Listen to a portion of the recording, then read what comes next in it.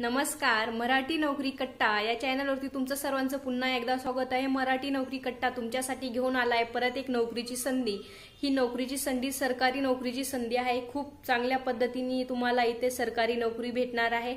सरकार गव्हर्नमेंटकडनं सरकारकडनं ही vacancies release झालेली आहे. तर बघूया आपण ही नोकरीची संधी तुम्हाला कुठल्या डिपार्टमेंटमध्ये कुठल्या पोस्टवरती भेटणार आहे. स्टाफ सिलेक्शन कमिशनकडनं ही नोकरीची संधी तुम्हाला उपलब्ध झालेली आहे. Staff selection commission government job आहे सरकारी नोकरी आहे. तुम्ही इथं सरकारी नोकरीचं स्वप्न तुम्ही नक्कीच पूर्ण करू शकता. कारण स्टाफ सिलेक्शन कमिशनने टोटल वीस हजार पोस्टसाठी वॅकन्सीज रिलीज केल्या आहेत.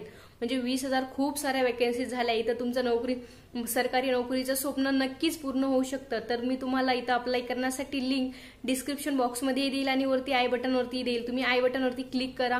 तिथे पण तुम्हाला लिंक भेटून जाईल. डिस्क्रिप्शन बॉक्समध्ये लिंकवरती क्लिक करा. क्लिक करून तिथं फॉर्म भरा. फॉर्मची लास्ट डेट आहे आठ ऑक्टोबर. आठ ऑक्टोबर पर्यंतच तुम्ही इथं फॉर्म अप्लाय करू शकता. मी हा व्हिडिओ आत्ता बनवते म्हणजे तुम्ही लवकरात लवकर अप्लाय करा कारण जेव्हा लास्ट डेट जवळ येते तेव्हा सिस्टम पण हँग व्हायला लागतं त्यामुळे लवकर आपला फॉर्म अप्लाय होत नाही. तर तुम्ही सरकारी नोकरीची संधी गमावू शकता. तर हातातून सरकारी नोकरीची संधी गमावू नका. त्यामुळे तुम्ही स्टाफ सिलेक्शन कमिशनचा पेपर नक्की भरा. इथे तुम्ही टेन्थ दहावी पास असाल तरी पण तुम्ही इथं फॉर्म अप्लाय करू शकता. तुम्ही ग्रॅज्युएट असाल तरी पण तुम्ही इथं फॉर्म अप्लाय करू शकता. कारण वीस हजार पोस्टसाठी जी व्हॅकन्सी रिलीज झालेली आहे इथं खूप साऱ्या पोस्ट आहे. खूप सगळ्या पोस्टला काही पोस्ट ह्या दहावीच्या बेसवर आहे काही पोस्ट ह्या बारावीच्या बेसवर आहे काही पोस्ट ह्या ग्रॅज्युएशनच्या बेसवर आहे. तुम्ही त्या तुमच्या चॉईसनुसार तुमच्या एजनुसार यांना एज क्रायटेरिया पण आहे. मी तुम्हाला लिंकवरती जाऊन समजावून सांगणारच आहे की कसला एज क्रायटेरिया आहे तर. तिथेही तुम्ही ते करू शकता फॉर्म भरू शकता. म्हणजे एज क्रायटेरिया समजून तुम्ही इथे फॉर्म फिलअप करा. तर बघूया आपण ऑफिशियल लिंकवरती जाऊन तर मी तसं समजावून सांगणारच आहे. आणि त्यानंतर मी तुम्हाला यासोबतच तुम्हाला एक्झामचा पॅटर्न कसा असणार आहे कोण तुम्ही पॅटर्न इथं एक्झाम पॅटर्न ऑब्जेक्टिव्ह असणार आहे सिंपल आहे पण कुठल्या सब्जेक्टला किती मार्क्स आहे पंचवीस मार्कच्या क्वेश्चनला किती मार्क्स असतील त्यानंतर तुमचं एक्झाम पॅटर्न कसा असणार आहे हे सुद्धा मी तुमचं या व्हिडिओमध्ये क्लिअर करणार आहे. तुम्हाला सगळं ए टू झेड अप्लायपासून ते तुमचं जो एक्झाम पॅटर्न आहे तो सगळं मी इथे समजावून सांगणार आहे. स्टाफ सिलेक्शनचा पेपर हा खूप चांगल्या पद्धतीने बेसिक नॉलेजपासून असतो. तुम्ही जर दहावी बेसवरती अप्लाय करत असाल तर तुम्हाला एट नाईन्थ आणि टेन्थ म्हणजे आठवी नववी दहावी या तीन वर्षाचा सिलेबस तुम्हाला जास्त येण्याचा चान्स असतो. चालू घडामोडी पण येतात पण तीन विषयाचा तुम्हाला जास्त अभ्यास करावा लागेल. तीन वर्षाचे जे पण सब्जेक्ट आहे त्या सब्जेक्टचा तुम्ही जास्त अभ्यास केला तर तुम्ही नक्कीच हा एक्झाम पास होऊ शकता. स्टाफ सिलेक्शन हे सरकारी जॉब असल्यामुळे सरकारी जॉबचं तुमचं स्वप्न नक्की पूर्ण होऊ शकतं. कारण इथे जास्त तुम्हाला हार्डवर्क करायची गरज नाही फक्त तुम्हाला थोडासा बेसिकपासनं बेसिक क्लिअर करून तुम्ही हा पेपर क्रॅक करू शकता. इथे वीस हजार पोस्ट आहे खूप साऱ्या पोस्ट आहे. तर तुम्ही इथे नक्की अप्लाय करा. भारतातून कुठूनही तुम्ही असाल तर तुम्ही इथे अप्लाय करू शकता. आणि तुम्हाला जॉब लोकेशन पण भारतामधलं कुठलंही एक जॉब लोकेशन तुम्हाला इथं भेटणार आहे. तर तुम्ही नक्की इथं सरकारी नोकरीची स्वप्न तुम्ही इथं पूर्ण करू शकता. माझी इच्छा आहे ज्यांची सरकारी नोकरी करण्याची इच्छा आहे तुम्ही नक्की इथं अप्लाय करा मनातून अभ्यास करा तुमचं खरंच इथं सिलेक्शन होऊन जाईल. तर तुम्हाला जर माझा हा व्हिडिओ थोडासा जरी महत्त्वाचा वाटत असेल थोडासा जरी पसंत आला असेल तर माझ्या व्हिडिओला लाईक करा. तुम्ही अजून मराठी नोकरी कट्टा या चॅनलला सबस्क्राईब केलं नसेल तर सबस्क्राईब करा.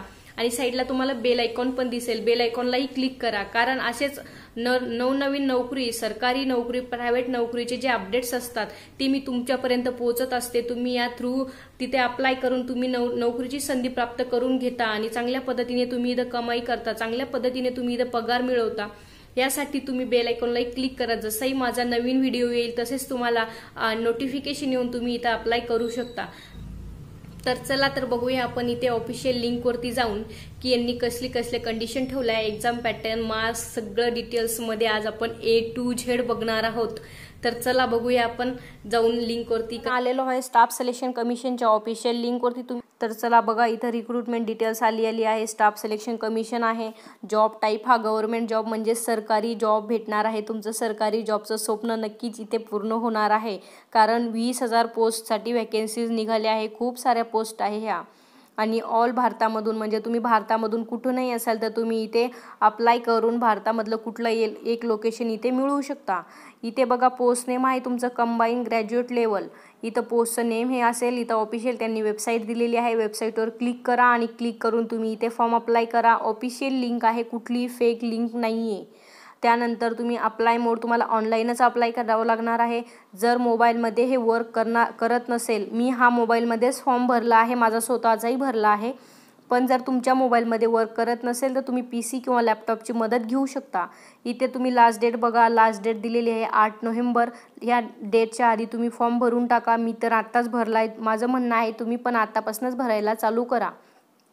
त्यामध्ये तुम्हाला बघा तुम्ही सॅलरी पॅकेज पण खूप चांगल्या पद्धतीने आहे बघा. चार लाख ते शहात्तर हजारपासून ते पंधरा लाखापर्यंत तुम्हाला पॅकेज भेटणार आहे. इथं तुमचा मोड ऑफ सिलेक्शन आहे. ऑब्जेक्टिव्ह कम्प्युटर बेस्ड म्हणजे तुमची टेस्ट ही कम्प्युटर हो, तुमचा जो पेपर आहे पहिला पेपर कम्प्युटर ऑनलाईनच होणार आहे. दुसरा पेपर पण ऑनलाईन होणार आहे. आणि जो तिसरा पेपर आहे descriptive paper in English and Hindi दोन लँग्वेजमधून पेपर घेतला जाईल. तो तुम्हाला पेपर हँडरायटिंग म्हणजे तुम्हाला तो पेपर लिहावा लागणार आहे हाताने. त्यानंतर तुमचे चौथ्यांदा टेस्ट होणार आहे. तिथे तुमचं किल्स टेस्ट केलं जाणार आहे आणि कम्प्युटर प्रोफेसी म्हणजे तुमच्या तुम्हाला किती चांगल्या पद्धतीने कम्प्युटर चालवता येतं. तुमचं जर M M M S C त्यानंतर टॅली टायपिंग झालेलं असेल तर तुम्हाला खूप चांगल्या पद्धतीने इथे चालवता येईल. तुम्हाला पी सी चांगल्या पद्धतीने हँडल करता आला पाहिजे. त्यानंतर तुम्ही इथं बघू शकता मोड ऑफ टाईप इथे ऑनलाईन आहे. मल्टिपल चॉईस क्वेश्चनचं तुम्हाला ॲन्सर द्यायचं आहे. इथे बघा तुम्ही सी जी एल इथे सिलॅबस अँड टॉपिक दिलेला आहे तुम्हाला. सिलॅबस आणि टॉपिक्समध्ये बघू शकता तुम्ही जनरल इंटेलिजंट रिजनिंग तुमचं जे जनरल अस जनरल क्वेश्चन आहे ते त्यानंतर रिजनिंग क्वेश्चन येतात त्यानंतर जनरल क्वेश्चन अवेअरनेस येतो इंग्लिश येते तुमचं जे इंग्लिश ग्रामर असतं ते पण इथे तुम्हाला मल्टिपल क्वेश्चनमध्ये येईल पहिल्या पेपरला दुसऱ्या पेपरलाही तसंच येणार इंग्लिश लँग्वेजचं त्यानंतर स्टॅटॅस्टिक्स म्हणजे इथं अकाउंट रिलेटेड येणार फायनान्स इकॉनॉमिक रिलेटेड येणार तुमचं जे जनरल नॉलेज आहे हे पण सब्जेक्ट यामध्ये इन्वॉल्व असतीलच. तुम्ही हा स्क्रीनशॉट घेऊ शकता लिंकवरती जाऊन आणि या पद्धतीने तुम्ही तुमचा अभ्यास चालू करू शकता. तिसरा जो पेपर असणार आहे तो स्टॅटिस्टिक्स म्हणजे अकाउंट असतो. त्यानंतर डेटा ॲनालिसिस तुम्ही या ऑफलाईन पेपर असणार आहे डेटा ॲनालिसिस हे.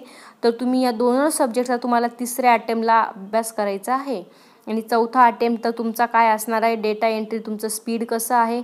त्यानंतर तुम्हाला कम्प्युटर किती चांगल्या पद्धतीने हँडल करता येतं आहे आणि डॉक्युमेंट व्हेरिफिकेशन त्यानंतर तुम्ही इथे बघू शकता त्यांनी खाली दिलेलं आहे तुमचे पंचवीस मार्क्स एका मार्क्सला तुम्हाला एका क्वेश्चनला तुम्हाला दोन मार्क्स असणार आहे. म्हणजे पंचवीस क्वेश्चनचे तुम्हाला पन्नास मार्क्स भेटणार आहे. त्यामध्ये तुमचा टाईम असणार आहे साठ मिनटाचा. म्हणजे तुम्ही जर विचार इथे निगेटिव्ह मार्किंग पण असणार आहे झिरो पॉईंट फिफ्टी. म्हणजे तुमचा एक क्वेश्चन जर चुकला तर तुमचं झिरो पॉईंट फिफ्टीन मार्क्स हे मायनस होतील. इथे निगेटिव्ह मार्किंग आहे. इथं त्यांनी त्यांच्या यामध्ये हे पण दिला आहे फॉर्म्युला पण दिला आहे total marks is equal to number of correct question multiplied by two minus wrong question wrong क्वेश्चनचे जे आन्स त्यामध्ये तुम्ही मल्टिप्लाय करणार झिरो फिफ्टीनं आणि जे मायनसचे क्वेश्चन आहे ते झिरो फिफ्टीने मल्टिप्लाय करून जे करेक्ट आले आहे त्यामधून तुम्ही मायनस करणार ते. त्यामुळे इथे निगेटिव्ह मार्किंग असल्यामुळे हे पण खूप चांगल्या पद्धतीने लक्षात ठेवा निगेटिव्ह मार्किंग असणार आहे.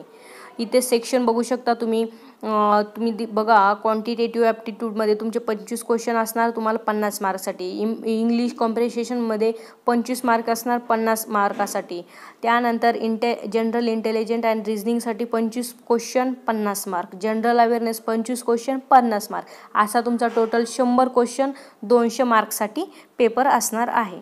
सिल सेकंडसाठी पण सेम असं असणार आहे. तुम्ही इथे सगळं लिंक मी तुम्हाला डिस्क्रिप्शन बॉक्समध्ये देते आहे तुम्ही लिंकवरती क्लिक करा लिंकवरती क्लिक करून ही माहिती सर्व काळजीपूर्वक वाचा. इथे सब्जेक्ट पण दिलेला आहे की त्यांना काय काय सॉल्व करायचं आहे. इथे बघू शकता तुम्ही आता जनरल जे रि म्हणजे जे जनरल क्वेश्चन असतात त्यामध्ये तुम्ही बघू शकता problem solving judgement decision making visual description observation relation concept तुम्हाला कुठल्या कुठल्या कन्सेप्टचा इथं स्टडी करायचं आहे हे सगळं इथं मी डिटेल्समध्ये तुम्हाला लिंकवरती दिसून जाईल. तुम्ही फक्त लिंकवरती क्लिक करा आणि लिंकवरती क्लिक केल्याच्यानंतर ही माहिती व्यवस्थित वाचा. क्वांटिटी क्वांटिटेटिव्ह ॲप्टिट्यूड म्हणजेच math subject maths subject related तुम्हाला कुठल्या टॉपिक रिलेटेड स्टडी करायचं आहे ते पण त्यांनी इथं डिटेल्स दिलं आहे. तर तुम्ही सगळं लिंकवरती जाऊन डिटेल्समध्ये बघा.